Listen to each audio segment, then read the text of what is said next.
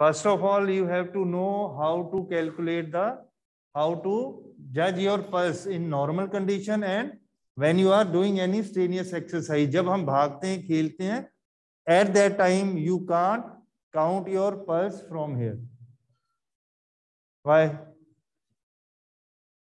क्योंकि उसकी speed pulse की इतनी तेज होती है आप यहाँ से उसको काउंट नहीं कर सकते हो हम फिर यहाँ थ्रोट से करते हैं ये आपको पता होना चाहिए ये बुक में आपको कोई नहीं लिखा होगा। ठीक है? जब आप किसी कंपटीशन में, किसी एक्टिविटी में आप पार्टिसिपेट करते हो स्ट्रेनियस एक्टिविटीज़ में then your pulse raise to 140 60 70 80 and sometime 80 plus तो at that time there is no way to count your pulse rate from your wrist वो हम थ्रोट से चेक करते हैं। ठीक है? तो जब भी हम कोई स्पोर्ट्स एक्टिविटीज़ करते हैं, आपको मैं एक एग्जांपल बताता हूँ। There is one cross country race ठीक है? क्रॉस कंट्री रेस हो गई है cross country you know what is cross country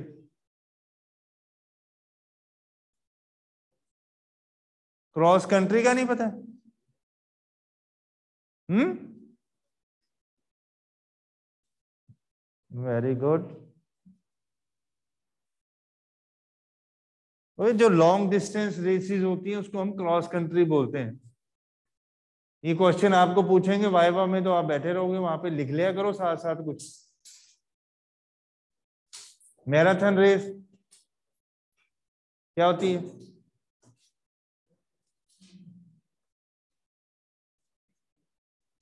किसको बोलते हैं marathon race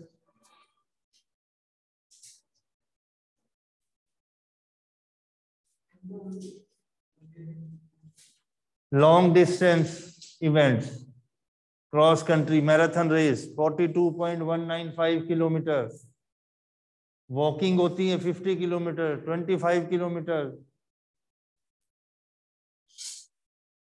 ठीक है तो वहाँ पे क्या आपका suppose you are going for marathon race आपने यहाँ पे जलंधर में भी यहाँ पे मैराथन रेस होती है इंडिपेंडेंट किसी भी इवेंट में आप करवा सकते हो that is for awareness of people regarding your disease आपका रेजिंग ऑफ़ फंड्स ठीक है? आपने देखा होगा कि डिफरेंट सिटीज़ में ये रेस हम करवाते हैं marathon race for any cause जैसे आपका हेल्थ से रिलेटेड हो गया so that people will be aware slogan उन्होंने लिखे होते हैं सबने, ठीक है? जो आपके एथलीट होते हैं, आपके हो, पूरे सिटी में वो बैनर्स होर्डिंग लगा के उन्होंने अवेयरनेस एक कंपेन शुरू किया होता है। रिगार्डिंग ऐसी कोई भी आप कह लो कि कोई जैसे अभी आपका चल रहा है कोरोना, उससे रिलेटेड क्या करना है? हैंड वॉश करना है डिस्टेंस रखना है मास्क डालना है।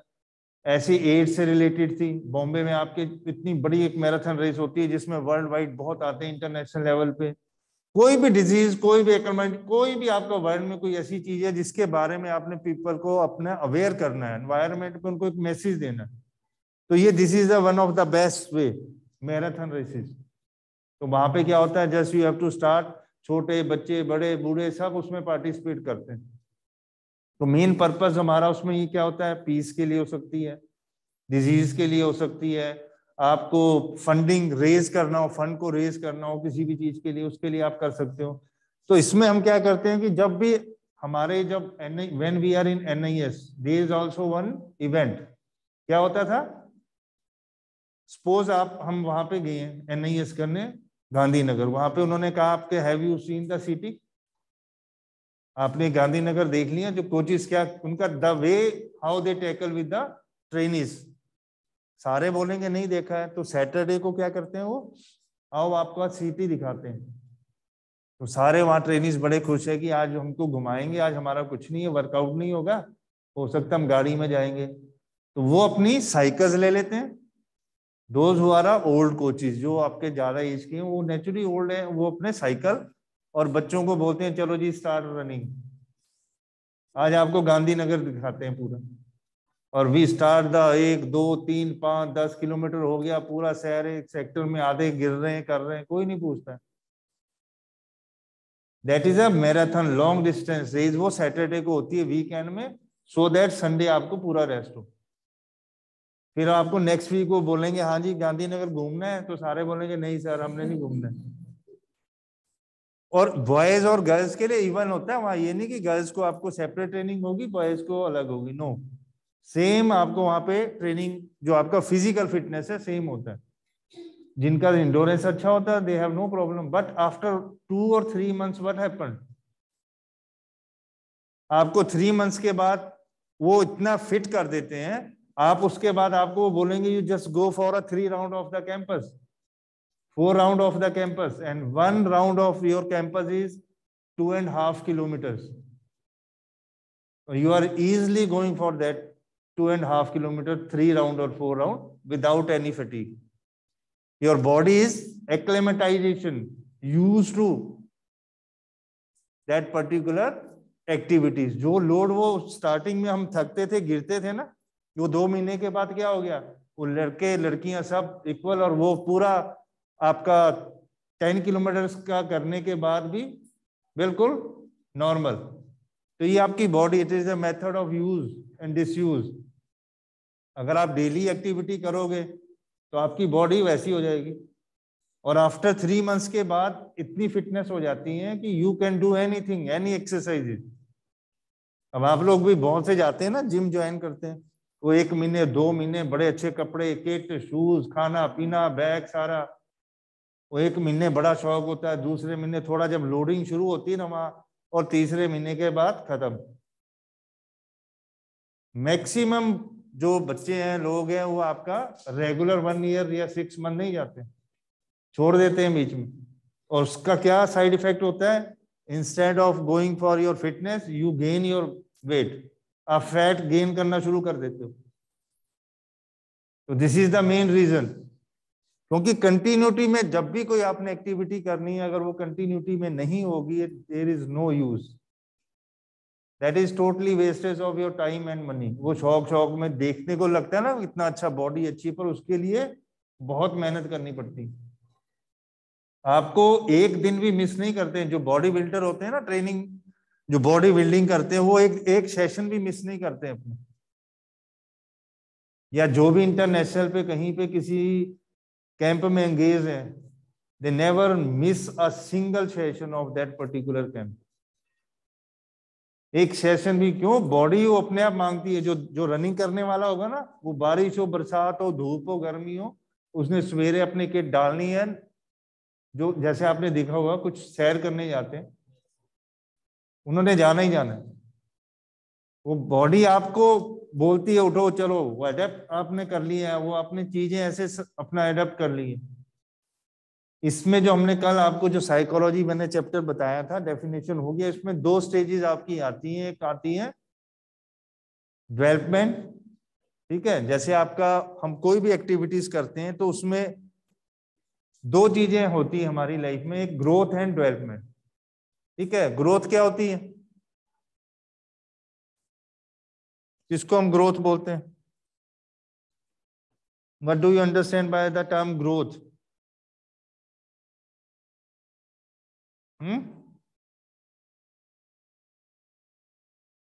ये पढ़ा नहीं होगा, आपने पढ़ा होगा, ऐसा हो ही नहीं सकता।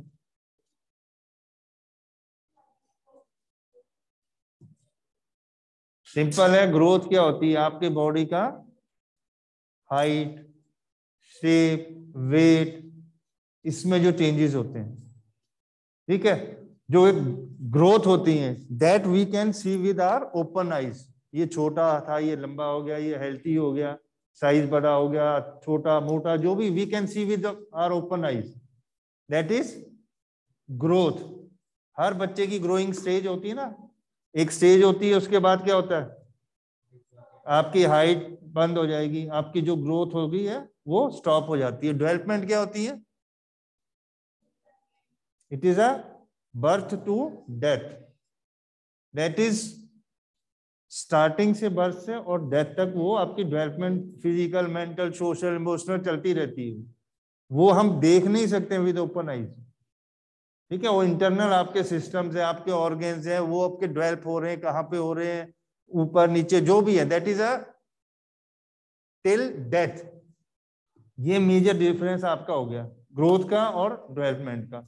अब इसमें जो डेवलपमेंट है, वो किससे रिलेटेड होती है? What are the different dimension और करेक्टरिस्टिक्स ऑफ़ डेवलपमेंट डेवलपमेंट आपकी सीधी बेटा एक मेंटल इमोशनल सोशल फ़िज़िकल ये सारी आपकी डेवलपमेंट डिफरेंट स्टेजेस में होती है। As we studied in the first chapter what is the aim and objective of physical education ठीक है, वो ऑब्जेक्टिव कौन से आपके थे? Physical mental social neuro muscular coordination emotional जो डेवलपमेंट है, ये सारी में फ़िज़िकल मेंटल सोशल इमोशनल ये यहाँ पे ये ये स्टेजेस आपकी हर जगह होगी। फ़िज़िकल में आपका क्या होगा? रिलेटेड टू आपका फ़िज़िकल एक्टिविटी इमोशनल आपके इमोशंस कैसे हैं? ठीक है सोशल में आपका सोशली एडजस्टमेंट कैसी है? लोगों के साथ कैसा है? आपका होता है ना कई लोगों की अपने आस पड़ोस में भी क्या होती है? नहीं बनती है। और कई बहुत सोशल होते हैं। ये सारी चीज़ें आपको गेम्स एंड स्पोर्ट्स से बहुत इफ़ेक्ट पड़ता है इसका। If you are a sports person you know how to adjust with others ठीक है? अब आपको यहाँ बोलते हैं ना कई बार, यहाँ भी देखना। वो बैग उठा के बच्चे एक दूसरे के इधर से उधर कर देते हैं। मैंने इसके साथ नहीं बैठना। ये बैग उधर हो गया। आप लोग का भी मेरे ख्याल ही होता होगा। तो that is the main thing अगर आप किसी टीम में खेलोगे, आप बोलोगे, जी, मैंने इसके साथ रूम शेयर नहीं करना है।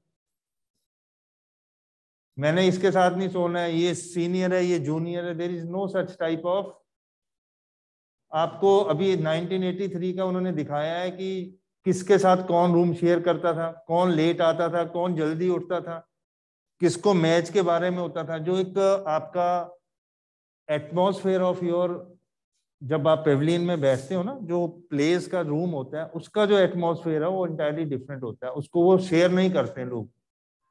वहाँ पे एक दूसरे से कॉन्फ्लिक्ट भी होते हैं, ठीक है? कैप्टन समटाइम रीजन वाइज भी होता है। सपोज़ आपका नॉर्थ का कोई कैप्टन है तो वो क्या बोलेगा कि मैं नॉर्थ का प्लेयर को पिक कर लेता हूँ। साउथ वाला बोलेगा, मैं अपना कर लेता हूँ। सिलेक्टर कुछ और बोलेंगे, ठीक है? मैनेजर का कुछ और है। ये सारी चीज़ें चलती है हायर लेवल पे। 19-20 का फ़र्क होता है प्लेयर्स में। ठीक है प्लेयर्स का कोई बहुत डिफरेंस नहीं है। बट जो जिसको चांस मिल गया, वो क्लिक कर गया, वो चला गया। तो ये ये चीज़ें आपको बहुत काउंट करती है हाई लेवल पे। और जो स्पोर्ट्स करता होगा, वो आपको कहीं भी, किसी भी सोसाइटी में इजिली एडजस्टेबल हो जाए because you have to obey the rule and regulation of the game आपको क्या होगा? अभी देखा ना कल परसों इंडिया का match slow running slow bowling fine हो गया। आपने अगर देख लो इवन अगर आप कुछ नहीं कर रहे हो बट आपका रन रेट जो बॉलिंग का है, वो आप स्लो कर रहे हो टाइम से, आपको फाइन हो जाएगा। सीधा उन्होंने रखा हुआ अनफेयर मींस को यूज़ करोगे आउट आपने विकेट पे आपको एक बार वॉर्न किया अंपायर ने, दूसरी बार वॉर्न किया, आप तीसरी बार गए, आपसे बॉल लेके आपको जाओ, बैठ जाओ। सीधे रूल एंड रेगुलेशन है तो अगर आप वहाँ पे गेम में अगर वो फॉलो नहीं करोगे फुटबॉल हॉकी में रेड कार्ड येलो कार्ड मिल गया, आप तो बाहर गए हो, आपकी टीम खत्म होगी। और आपकी टीम खत्म होगी है तो आपके कोच और मैनेजर ने आपको टीम में दोबारा रखना ही नहीं। Suppose you are playing any qualifying match crucial match या हाँ या मेडल का कोई मैच खेल रहे हो, और आपने एक आपकी एक गलती से आपकी पूरी टीम बाहर होगी। तो उस प्लेयर को कोई लेगा दोबारा? जब सिलेक्शन की बारी आएगी, वो पहले ही बोलेंगे नहीं। तो इसलिए आपको कैप्टन की मैनेजर की टीम के साथ बैठना, मैं जलंधर से हूँ, मैं खेल रहा हूँ तो मेरे साथ साउथ वाले हैं। ठीक है, उनकी नेचर खाना पीना अलग है। But we have to adjust इसीलिए हर साल आपकी जो नेशनल होती है, वो डिफरेंट प्लेस पे होती है।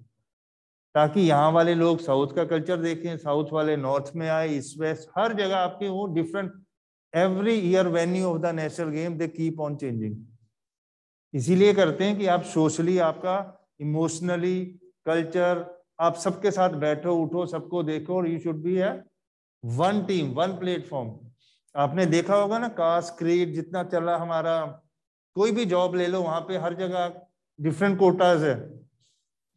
कोई स्पोर्ट्स में है? है? स्पोर्ट्स में? मैं वही बोल रहा हूँ ना। स्पोर्ट्स में वहाँ पे वो किसी के माइंड में ही नहीं होता। वहाँ एक चीज़ है, आप परफॉर्म कर रहे हो, आप खेलोगे। प्लेटफॉर्म एक होना चाहिए, ठीक है ना? अगर आपने कोई भी चीज़ करवानी है तो बच्चों की जो एजुकेशन है, जो बच्चों का ग्राउंड लेवल है, वो इतना अच्छा कर दो कि उसको अपने आप जो अच्छा चीज़ है सामने आएगा। तो वहाँ पे कोई वो नहीं होता है आपका। और ना किसी को कोई पूछता है, ना आप कहाँ से हो, कहाँ से कोई नहीं पूछेगा। आप दिल्ली से हो, आप कैलकाटा से हो, आप बॉम्बे से हो। When you are playing for your country तो वहाँ पे एक ही उनका होता है कि वी हैव टू विन ठीक है? तो इसमें growth and development this is the basics initial stage हमारी ग्रोथ एंड डेवलपमेंट से शुरू होती है। डेवलपमेंट के डिफरेंट करेक्टरिस्टिक्स हो जाते हैं। ये आपको इसी चैप्टर में नाइन्थ में साइकोलॉजी एंड स्पोर्ट्स नेक्स्ट इसमें जो टॉपिक है that is the main that is आप सब पे वो है. That is adolescence age what are the problem and management of adolescence age तो एडोलसेंस एज सबसे मेन क्रूशियल स्टेज होती है हर की लाइफ की. ठीक है? यही आपका एक, जिसको हम बोलते हैं ना मेच्योरिटी की ओर हम जा रहे होते हैं. यही स्टेप जहाँ पे होता है, जहाँ से आदमी बनता है, बिगड़ता है, सब कुछ करता है।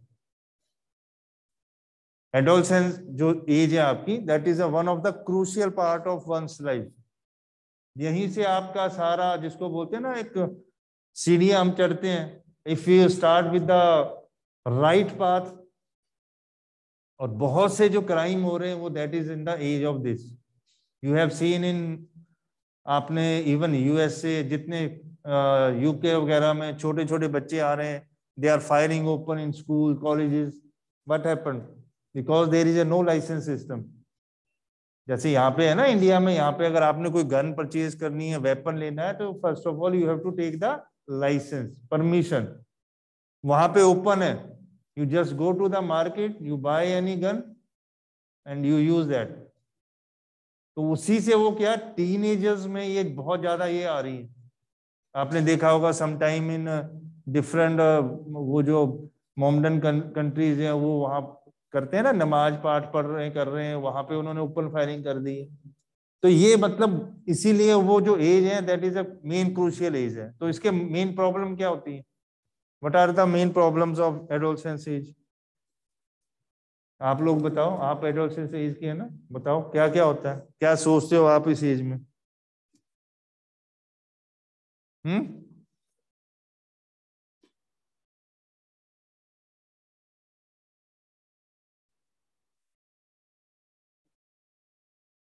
नो प्रॉब्लम हम्म कोई प्रॉब्लम नहीं होती। सबसे मेन क्या है प्रॉब्लम खासकर बॉयज़ में तो एग्रेशन एग्रेसिव नेचर कोई भी कुछ बोल दे एकदम एग्रेसिव। ये सबको होता है, सब इस स्टेज से निकले। ठीक है? सबसे मेन आपका जो आती है problem that is aggressive behaviour you can write this लिख सकते हो उसको, मैं आपको पॉइंट्स लिखा देता हूँ। इसमें से आपको जितने आप लर्न कर सकते हो easily you can learn that aggressive behaviour explain आप इसको अपने आप कर सकते हो? हाँ तो हेडिंग में लिखा देता हूँ आपको। Then over confident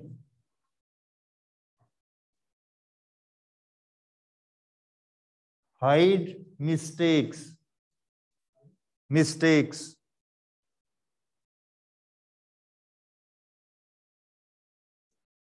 Importance given to किसको देते हो इंपॉर्टेंस हम्म? हाँ जी, एक फ्रेंड्स जिसको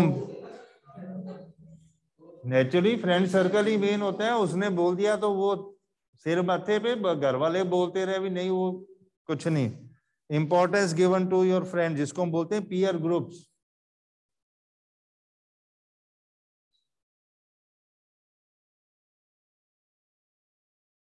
देन हाँ वो भी हम लिख सकते हैं। That is cyber cyber crime cyber use of this then neglect family social status सबसे मेन होता है सोशल स्टेटस अपने आप को।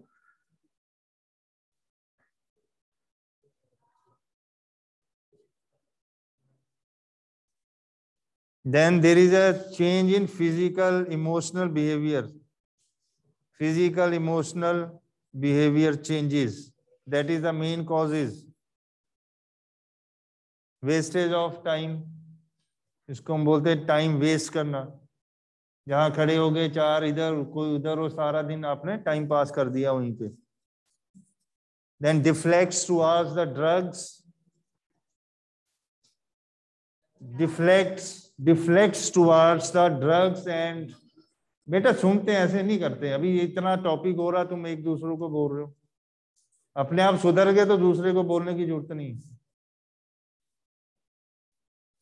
जो आप साइबर वाला बोल रहे थे ना that is addiction addiction to cyber crime कह लो आप, या आपका फ़ोन हो गया सेल फ़ोन ये सारा उसी में आ जाता है।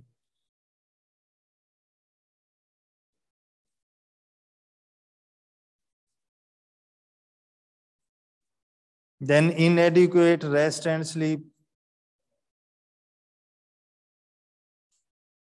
Violence लिख लिया वायलेंट हो जाते हैं। एग्रेसिव एंड वायलेंट भी लिख सकते हो उसको। आप इकट्ठा लिख सकते हो।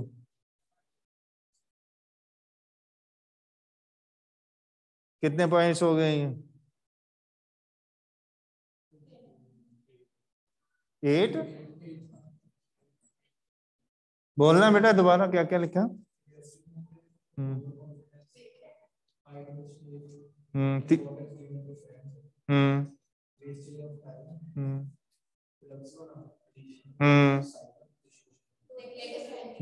family social status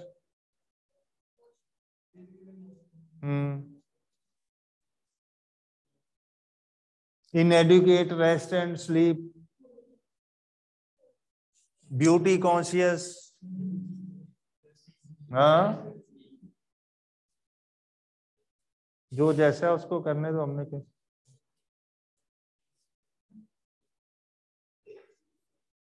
इसके अलावा आपको कोई और भी लिख सकते हो आप? सोने दो बेटा, उनको सोने दो। अभी इसमें मैंने लिखा है ना रेस्ट एंड स्लीप का लिखा है ना पॉइंट है कि ये सामने आ जाती है सारी चीज़ें, देखो। दिस इज़ प्रैक्टिकल थिंग ये कोई एग्ज़ाम्पल तो सामने आ गया हम्म। ये साथ आ गया आपको एग्ज़ाम्पल भी।